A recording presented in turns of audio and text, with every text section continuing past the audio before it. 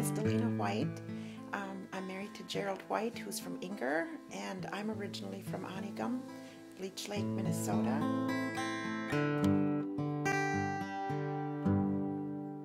I guess I describe my work as a traditional Anishinaabe woodland floral design beadwork.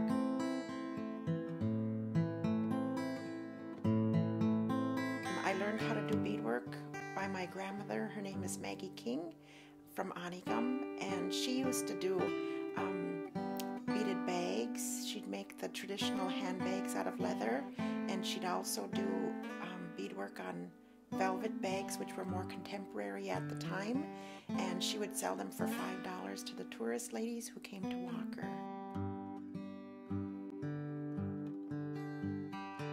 I tried to continue to do the style that she used to do because we were so close and it just makes me feel like um, she's still a part of my life and I try to keep her as a part of my life and continuing the work that um, my people did a long time ago into today.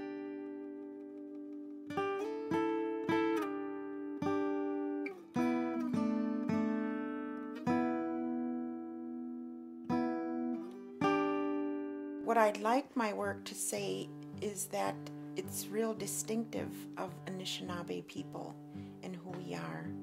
Um, that's why I keep the work in the floral design because it's it's about the surrounding areas and the life of the people in this area.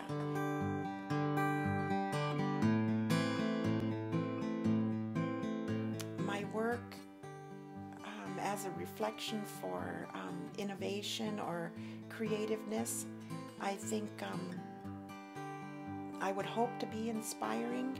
You know, at this time, I really can't say how it is, but um, for myself, when you look at my work, you think of traditionalness, but I think that people are becoming familiar with my work, so when they look at it, they're not really thinking traditional, they're thinking Delina.